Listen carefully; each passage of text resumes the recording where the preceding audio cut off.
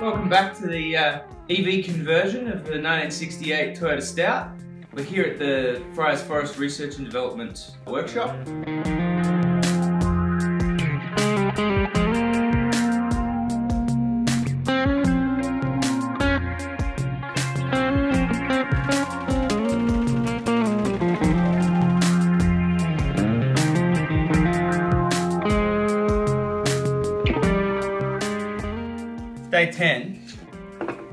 Sunday.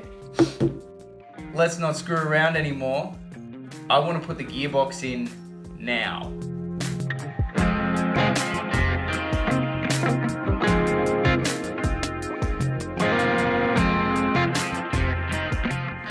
That's a test fit. It doesn't fit. Nah, just kidding. Ah, it's beautiful. Now we've got to fab up the rails that come forward to these front engine mounts.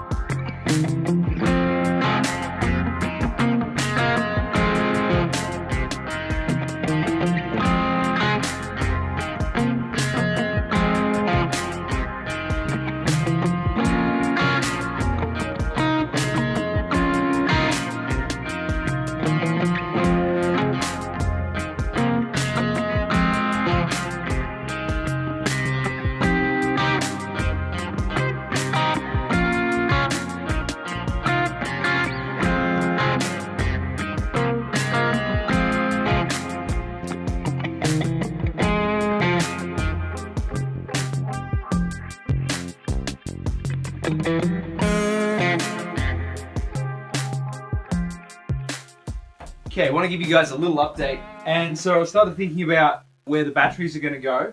We're going to get up and running with the flex modules in the slip-on. Going to leave the engine bay free. Moving away from all that mechanical stuff we've been doing. I've just nicked over to the containers and grabbed all the uh, electrical cabling and this old inverter that's buggered and yeah, I'm sure we could fix it, but what's a 1.5 kilowatt inverter? I mean, there's so many these days. More cables and just donor stuff. If we don't use it for this, what are we keeping it for? Now it feels like we're a bit more on an EV project.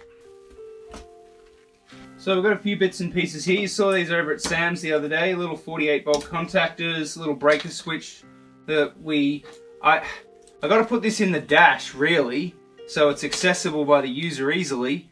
Uh, and that kind of means I need to put the power cables through the dash, which kind of makes me feel like I should just put this inside the dash, because if I've got to go in and out, want to see if this can be a bit of a donor box for us to put our motor controller and maybe BMV shunt and a few other things in. Um, yes, this is the motor controller. It's tiny. We need to put a heatsink on it. They're the FETs on the back there. I do want to get the big brother of this if this turns out to be reasonable in its features. I mean, I've looked at the manual and it looks pretty good. The devil will be in the detail, putting it in. And are we really going to get this all done by Thursday? Yeah, it's only 100 amp, 100 volt, 100 amp continuous, 100 volt, 200 amp peak controller. So it's a bit on the small side. We'll, we'll order the big brother if we're happy with it. Our batteries can only do 140 amp continuous anyway, so yeah, we'll move around. We just might not go up as steeper hills yet. Um, pot box for accelerator. That's got to plug into the motor controller, and yeah. Anyway, start. I, I want to see this uh, this old inverter, which could be fixed. So many of these old things lying around. This one's this one's died, and see we can use it as a as a box for our motor controller and shunt, and maybe we could put the BMV on the outside, and could be really nice. Let's give it a go. Let's open it up and see. Be careful, like you know, charged capacitors and high voltage. Be careful.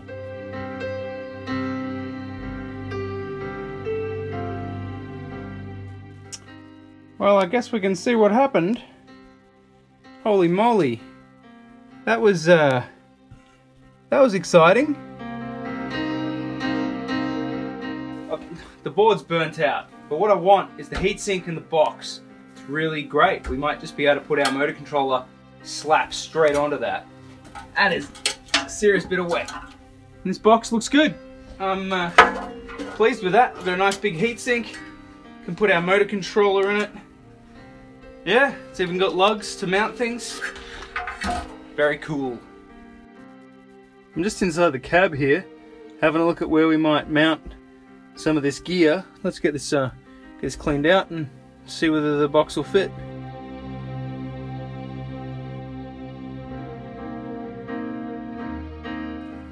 So there appears to be half the farm in the bottom of this seat. Let's get all that out. It's gonna get dusty.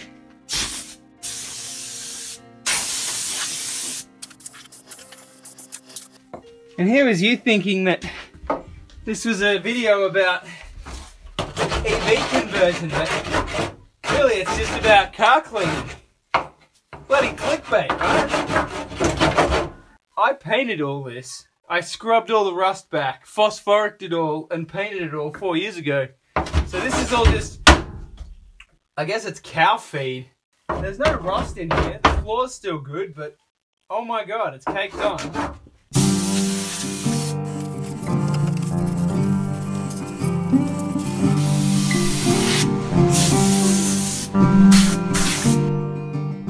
Yeah, so uh, that's quite a lot of crap that's just come out of there. Now, that's not me blowing the seat apart with the compressed air. There's a rat hole down in there. A rat had made a nest in the bottom of the seat. Boy oh boy, I think we might be uh, in need of a new seat. At least we got most of the crap out of down here and we can start thinking about mounting our uh, pot box. Oh, another beautiful morning picked up a few more parts uh, on my way home last night. I dropped by Sam's place again. Sam's got uh, many good things in the shed there. And he had a bit of a supply of uh, supply of old cables of different sizes. So yeah much much appreciated Sam for all the all the little bits and bobs to uh, get the project happening. Certainly couldn't do it without you. Much appreciated mate. I'm kind of tempted to finish off the front brakes first because that'd wrap up the brake system. I reckon that's what I'm going to crack into this morning. We're going to pull those front wheels off, uh, get the pistons out of the wheels and the backing plates, and uh, yeah, I'm going to give them a little service, give them a little uh, clean up on the inside, a little hone, and maybe some new seals in them. Let's get these brakes done, I reckon. Let's get into it.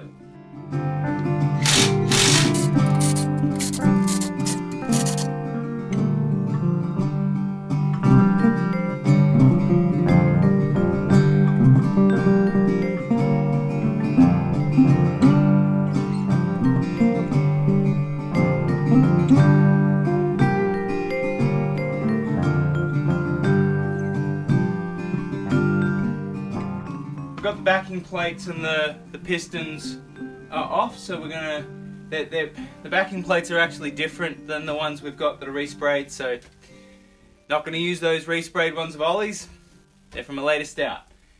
Let's knock this over quickly, because I want to get into the electrical wiring.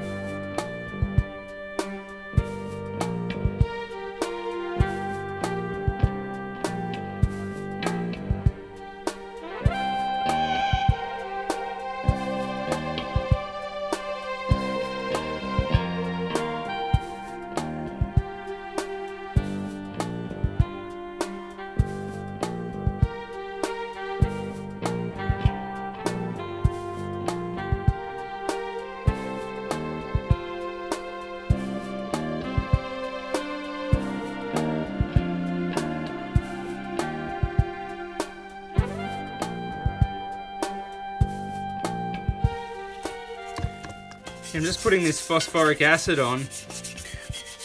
Actually, I'd love to know if any of you guys are chemists, uh, what the optimum way to apply this uh, is. My understanding is that it protects from further rust to some degree. But we're going to let these sit for a little bit to continue converting. We're going to put some fish oil on them soon and I'm just going to put the rubbers back in. So then we can start bolting all these uh, reconditioned cylinders back on. We've uh, anti-seized the adjusters and this is a blind cylinder here. That's why it doesn't have a boot. Uh, it's not actually it's not actually doing anything this one. As I said, on the back of the vehicle they're double acting and on the front they're single acting. Uh, which means there's just a piston pushing in this direction. This is just an adjuster. No fluid in there. Which uh, does mean, because this is a, a ute, that it's got most of its braking on the back of the vehicle, unlike a passenger car that has most of it on the front. So, uh, yeah, unless it's got a load on it, it's really easy to lock the back wheels up. Fortunately, we that's not too much of an issue and we have a load on it most of the time, so it's uh, well balanced.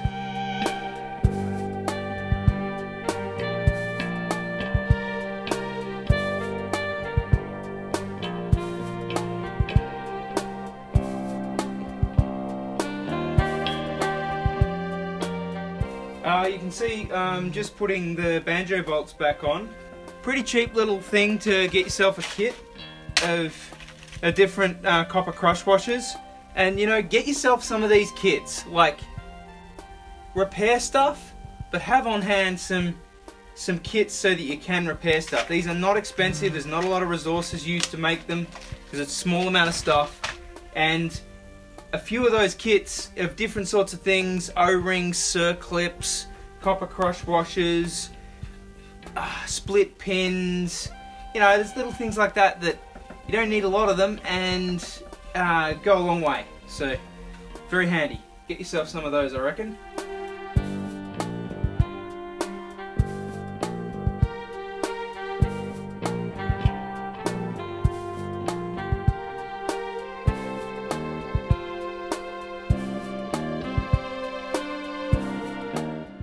Gave these uh, wheel bearings a wash up in some petrol because the grease on them was so caked on and old uh, that yeah I wasn't confident new grease was going to go in very well. So anyway they're, they're cleaned up. They actually feel okay. So yeah we're gonna gonna pop these back in and get the bearing tension done up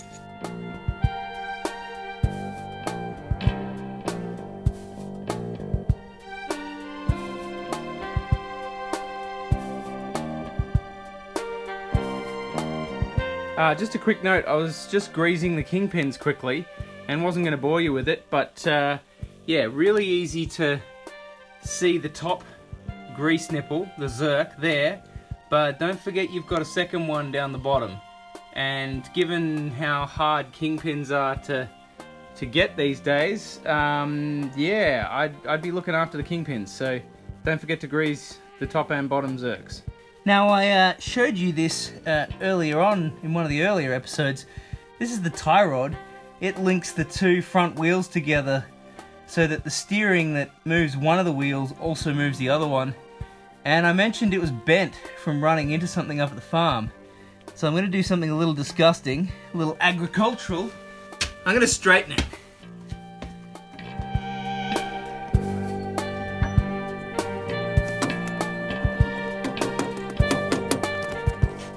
Do we reckon?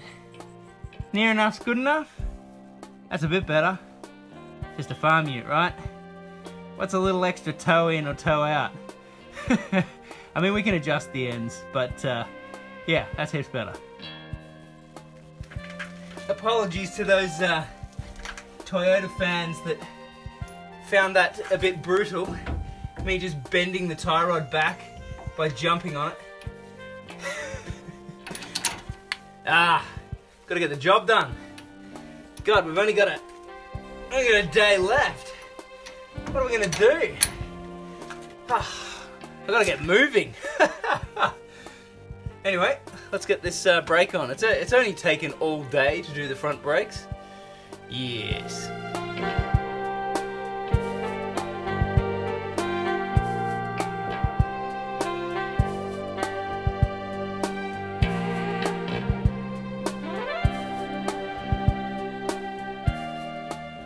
So I've just discovered this wheel bearings uh, cactus. The other ones were okay, but I've got some spare ones here that have got a tiny bit of rust, surface rust. Probably wouldn't put them in the road goer, so might as well throw them in.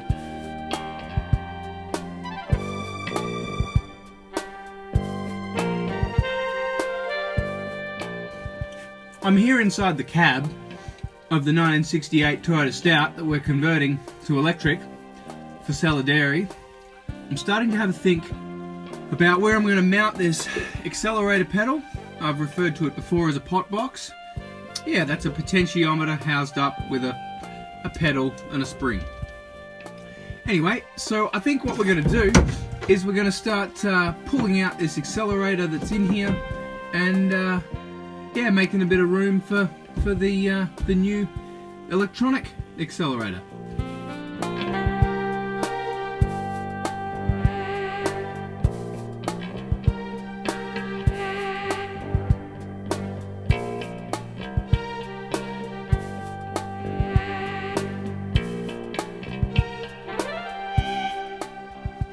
Accelerator out and I'm thinking we might take a bunch of this dash out because there's some rust in behind here that's not looking real nice. I might just uh, take the opportunity to spray some fish oil and stuff in there and also for mounting our motor controller and everything I think it'll be nice to have a bit easier access to under here where we're I think gonna bolt it to so uh, yeah gonna pull the dash off.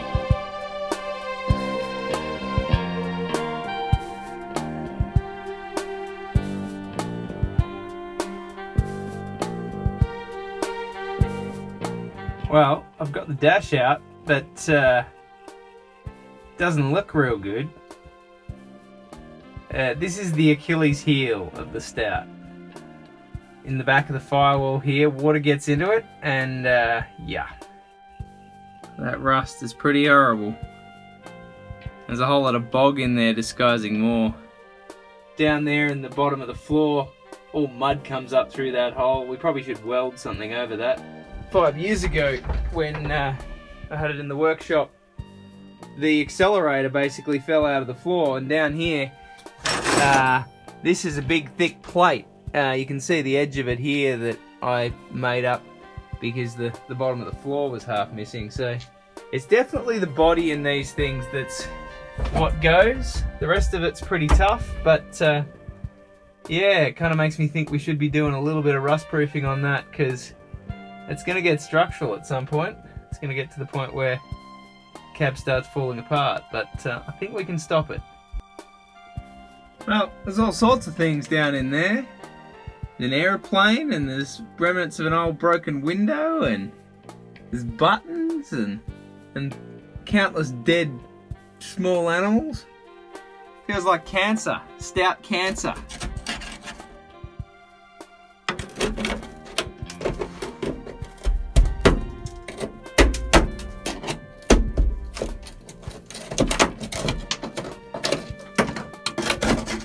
I don't want to do too much because I gotta get this rolling tomorrow. Haha.